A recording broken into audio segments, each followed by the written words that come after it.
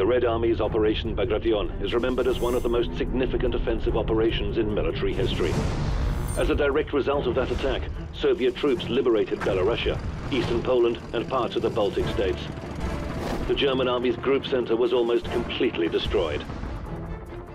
Считаю войну прежде всего тяжелейшей работой. Работа, работа до изнеможения. Ночные переходы. Но переход-то не по парадным маршем, а нагружен. Вот вы возьмите, я был в роте ПТР. Что такое ПТР знает? Противотанковое ружье. Вес большой и всегда в боевой готовности его содержать.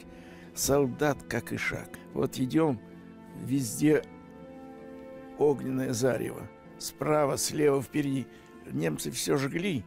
Горит страна. Это было Белоруссия. Места болотистые. Мы ж не зря говорили, Бог создал небо и землю, а черт дорогобуш и елью. Вот там самое страшное было. И именно страшное, потому что в болотах утопали. Инстинкт самосохранения, он всегда действовал. Но здесь он ослабевал настолько, что если бы наступило что-то, не, оно вроде как избавление. И кое-кто и выговаривал, хоть убило и бы ранило. Убило, это уже мог и все кончились, а ранил ты в госпитале, отлежись. Война украла у нас юность. То не вошло в учет потери. И может в этом наша трудность понять своих детей теперь. Не знали мы сердец волнений и первой нежности любви. А были ленточки ранений, бинты в засохнувшей крови. Конечно, все было. Девчонки были у нас, вот я ж здесь, у нас связистки были девочки, санинструкторы девочки. Мы, конечно, на них любовались, все о них мечтали. Я скажу, девочкам, женщинам на войне страшно.